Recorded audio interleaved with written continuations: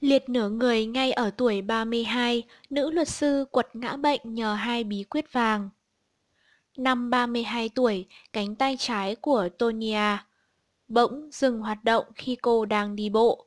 Trong nhiều năm liền, cô không còn sử dụng nửa người bên trái. Vào một ngày, Tonia Walker một luật sư kiêm chuyên gia viết blog 32 tuổi người Mỹ bỗng nhiên nhận thấy cả hai cánh tay ngừng đung đưa mỗi khi cô đi bộ và cô không thể sử dụng cánh tay trái một cách khéo léo nữa. Ban đầu, tôi nghĩ đó là do chấn thương khi tập thể thao. Gần đây, tôi đang theo đuổi bộ môn yoga, cũng như một số hoạt động thể thao mà tôi chưa từng tập trước đây. Vì vậy, tôi nghĩ mình đã gặp vấn đề chấn thương cơ bắp nhưng khi tôi còn không cử động trong khi tập luyện như trước nữa. Tôi đã nhận ra có cái gì đó không ổn, Tonia Walker kể lại. Tháng 2 năm 2006, Walker đi khám bác sĩ riêng của gia đình và được chuẩn đoán bị chứng đa sơ cứng dựa vào tuổi tác cũng như các triệu chứng được mô tả. Vì vậy, cô được đưa đến gặp một bác sĩ thần kinh học. Tại đây bác sĩ lại cho rằng cô có khả năng mắc bệnh Parkinson. Chồng tôi và tôi đều không tin đó là sự thật và không chấp nhận điều đó. Chúng tôi chỉ ngồi và nghe bác sĩ nói. Tôi không nghĩ rằng sẽ cần đối diện với căn bệnh về sau này, Tonia cho biết. Nhưng bác sĩ thần kinh lại không yêu cầu Tonia dùng thuốc ngay. Cô muốn có một gia đình nhỏ vì vậy, bác sĩ, gia đình khuyên cô nên sinh con trước, chữa bệnh sau. Vào thời điểm đó, ngoài các xét nghiệm thể chất, cách duy nhất để chuẩn đoán bệnh Parkinson là dùng thuốc điều trị bệnh. Nếu chúng hiệu quả thì chắc chắn bạn đã mắc phải bệnh Parkinson và từ đó bạn phải dùng thuốc trong suốt quãng đời còn lại. Vì vậy, Tonia đã tiếp tục sống cùng với các triệu chứng của bệnh mà không dùng một viên thuốc nào. Một thời gian sau, cô mang thai, thật không may mắn, do sự gia tăng của các hormone trong quá trình thai kỳ khiến sức khỏe của Tonia ngày càng tồi tệ hơn. Căng cứng khớp, mệt mỏi quá mức, rối loạn giấc ngủ. Tôi thậm chí còn không thể tự mặc quần áo mà phải nhờ vào sự trợ giúp của chồng, Tonia hồi tưởng lại.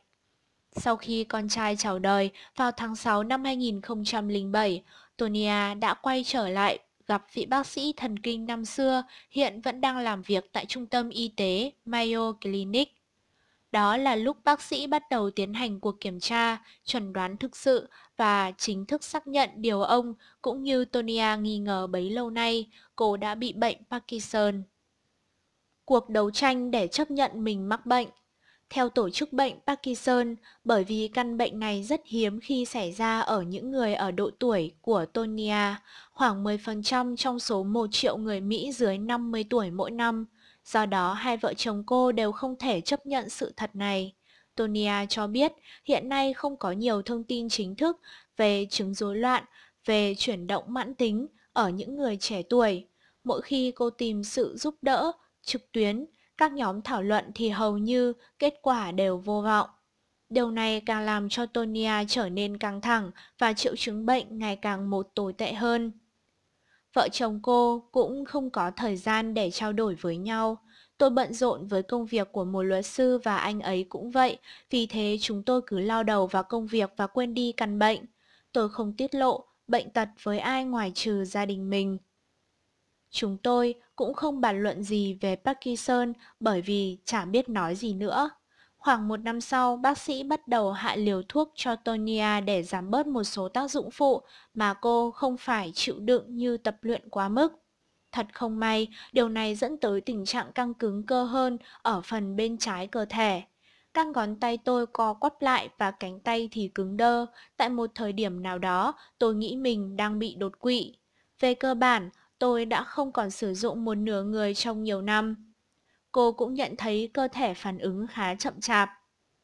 Bộ não của tôi nói cơ thể chuyển động, nhưng tôi có cảm giác tôi đang mắc kẹt trong đống cát. Tôi vô cùng bực tức và không muốn làm gì cả. Tôi rơi vào trạng thái trầm cảm nghiêm trọng, bà mẹ một con tuyệt vọng kể lại. Con trai, động lực giúp mẹ lấy lại phong độ như xưa. Chỉ một lần suýt chết xảy ra vào năm 2013, Tonia mới nhận ra rằng mình không hề sống mãi với bộ dạng như thế này nữa. Trong một lần chở cậu con trai 5 tuổi, chân phải của cô đột nhiên cứng lại, cô không thể điều khiển chiếc xe theo ý mình, buộc phải sử dụng chân trái. Tuy rất khó khăn nhưng cô cũng đã dừng xe lại được để uống thuốc. Sự việc này đã khiến cô nhận ra rằng mình đang gây nguy hiểm tính mạng con trai cho chính mình và thậm chí là có thể gây hại nhiều người xung quanh.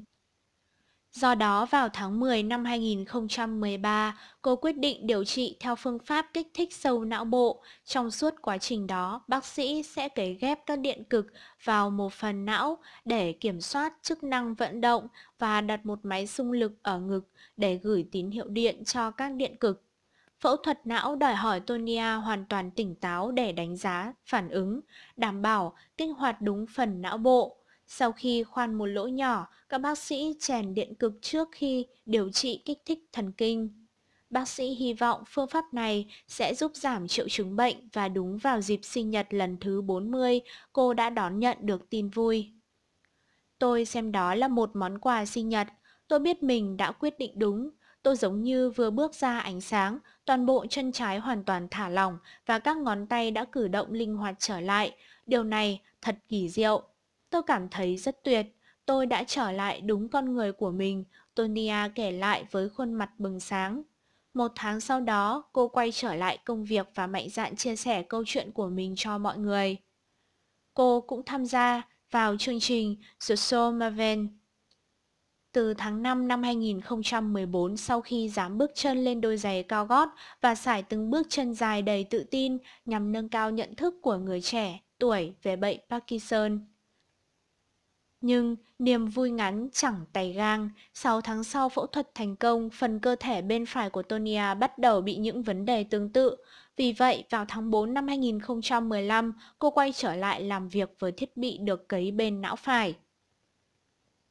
Khám phá lại tình yêu với tập luyện Kể từ đó, Tonia nói rằng triệu chứng của bệnh Parkinson ngày càng giảm rõ rệt. Trước đó, cô phải uống 20 viên thuốc mỗi ngày, số lượng chỉ còn 9. Sau đó cô tìm lại niềm đam mê với tập luyện thể thao. Trước khi phẫu thuật, tôi luôn trong tình trạng kiệt sức mặc dù biết tập thể dục đã giúp tôi giảm bớt những triệu chứng co giật của bệnh Parkinson, nhưng tôi vẫn không thể làm được gì. Nhưng bây giờ, tôi có năng lượng, tôi có thể chơi bên ngoài với con trai, đi xe đạp và chạy, thậm chí tôi còn chơi đấm bốc hai lần mỗi tuần. Tuy nhiên, thật khó có thể dự đoán được điều gì có thể xảy ra trong thời gian dài với sức khỏe của Tonia.